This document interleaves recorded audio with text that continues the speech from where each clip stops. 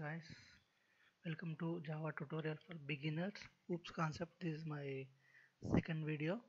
So we have learned what is the oops concepts and uh, second one is what is the concept it was involved. So we have covered object with example so which is entity and state and behavior. So second one is a class. So class is a it is a collection of objects. Means it is having data member data members as well as mem member functions like methods method 1 method 2 etc etc it will have. So let show show you with a simple example so that you can understand what it will class have and uh, what is a main method actually it will do. So let me go through once. So we have created one penthouse right? Previously i have removed those all methods. So i have main methods and which is a command line arguments and uh, class name will be declared with uh, public class. This is a class is a keyword and uh, name. This is the name of the class. So i have created one more class so which is a class under one package. Okay so we are running. Execute this house methods everything data members under this public static void main why? Because it is having only one starting method. Jvm will be identified and it will execute the number of classes. So I have created one class so which is having the different variables. Okay. So let me provide you the value. Just take the one house right? Just, just why. That way string uh, property. So it will have property name just like house name. Let me take the house name so that you can understand very easily. House name right? So in order to call these variables into this class we have to create we have to create objects houses okay new. So we have to simply create this is the objects and instances. So by creating these objects of this class you can access all the methods variables everything will be accessed by in this main method which is executing under this penthouse so let me create one uh, simple uh, get and setter method so that you can easily understand. So instead of directly providing the value i'm providing using methods so how you will provide public void set so property value. Okay? So void means which is having no return. It will not return anything. So int i'm just giving the property value.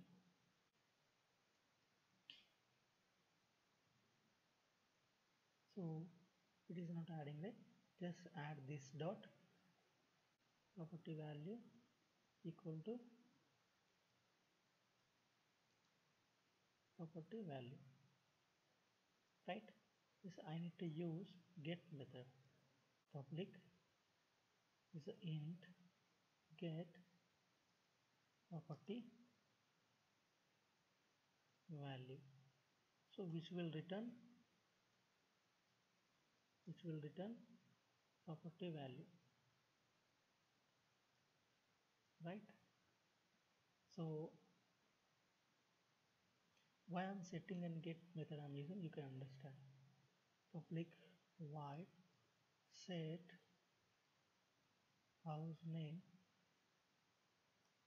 which is a string.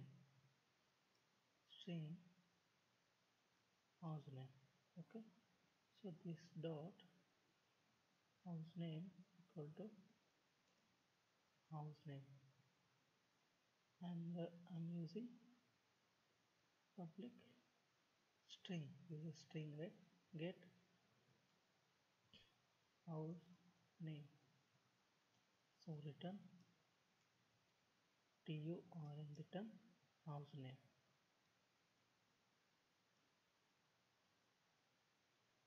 See I have using get and set method.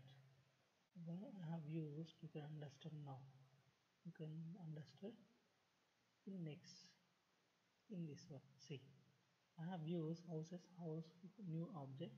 So let me call dot set set property value. Here you we are writing the value of the property. This is the so instead of writing like this we are writing within a method what is the value file as 1 2 3 4 5 right? Next now dot set property property name.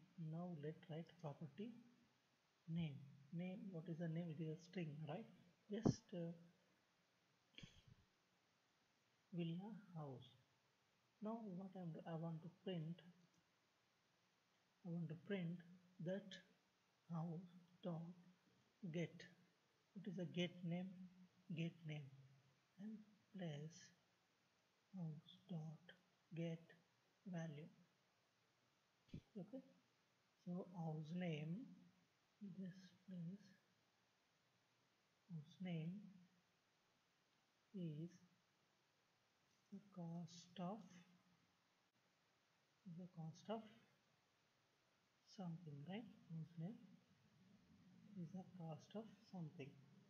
Okay let me run this one. You can understand very easily. Run as java application. So with the help of set and villa house is the cost of 5 lakhs.